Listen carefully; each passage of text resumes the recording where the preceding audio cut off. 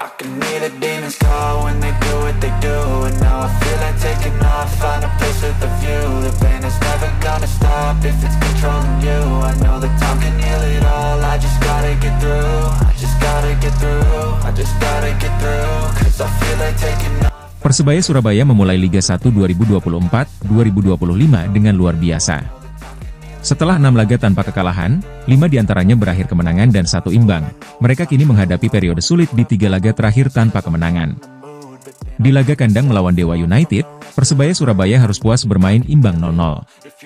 Setelahnya, tim asuhan Paul Munster harus mengakui keunggulan Persib Bandung dengan skor 0-2 di laga tandang, disusul hasil imbang 1-1 saat menjamu PSM Makassar di Gelora Bung Tomo. Meski demikian, pelatih Paul Munster tetap optimis anak asuhnya mampu segera bangkit. Ia yakin Bruno Moreira dan rekan-rekan setimnya bisa memperbaiki performa dan kembali berada di puncak klasemen. Saat ini, Persebaya Surabaya harus puas berada di peringkat keempat klasemen sementara Liga 1 dengan perolehan 18 poin. Posisi ini membuat mereka tergeser oleh Bali United, Persib Bandung, dan Borneo FC yang berhasil mengoleksi poin lebih banyak. Paul Munster tetap percaya pada kekuatan mental dan solidaritas timnya. Ia terus menyampaikan pesan motivasi kepada para pemain, menekankan pentingnya saling percaya dan mendukung di setiap situasi. Kami harus berjuang sampai akhir, saling percaya, dan saling mendukung adalah kunci. Jika ada satu orang yang jatuh, kami harus membangkitkan mereka, ujar Munster dengan penuh keyakinan.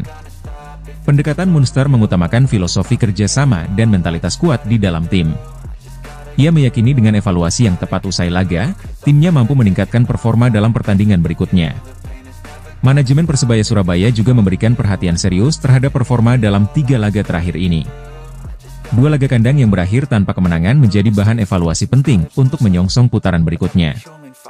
Manajemen Persebaya menyampaikan rasa terima kasih atas kritik dan dukungan dari pecinta Green Force. Mereka juga menegaskan tim tetap berkomitmen untuk berjuang dan memperbaiki catatan kemenangan yang sempat terganggu. Kami syukuri posisi saat ini, tetapi sekali lagi, tim akan berjuang lebih keras lagi untuk kembali ke jalur kemenangan. Demikian pernyataan dari manajemen Persebaya Surabaya.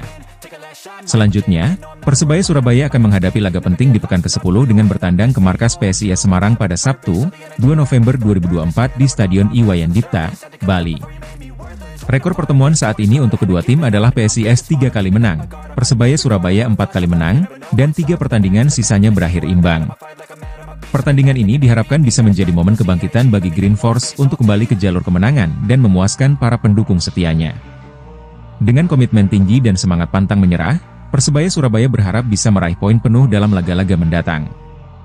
Hal ini sekaligus menjadi kesempatan bagi tim untuk menjaga posisi di papan atas klasemen Liga 1 dan terus bersaing menuju gelar juara.